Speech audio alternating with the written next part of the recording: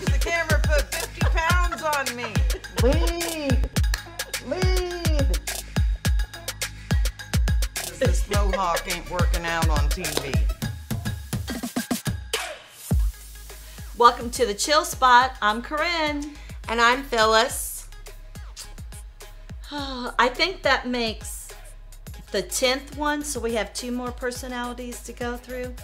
Yeah, I'm gonna keep you guessing. Keep me guessing. Okay. Well, welcome, Phyllis, to the show. Thank you. Always glad to be here.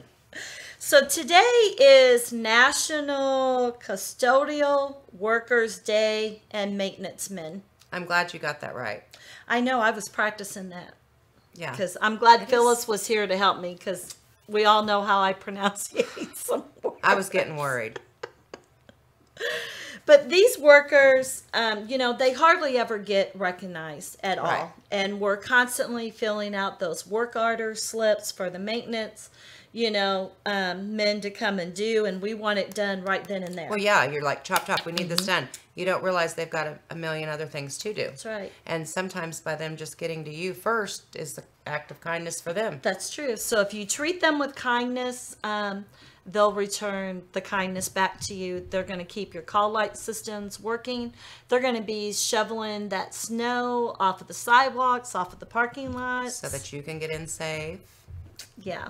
So um, reach out to them today and let them know that you do appreciate them. You appreciate their hard work.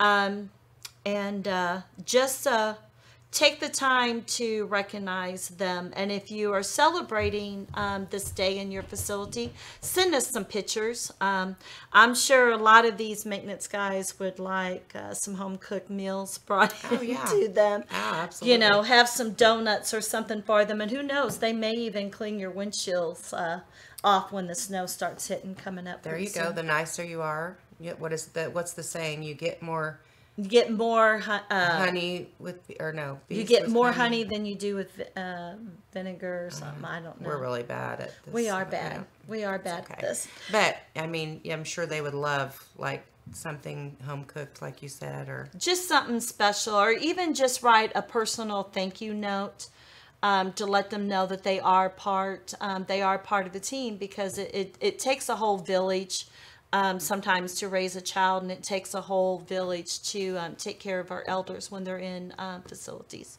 so um, until uh, we come back and see you again i don't know who's going to be with me i don't know if it's going to be phyllis or ed or well, who else? You never know. no Uh, We'll just we'll just keep it quiet. keep it comes quiet. No telling. I mean, every day when I sit down in this chair, I'm thinking, okay, Who's joining me today? Yeah. Well, I don't even know.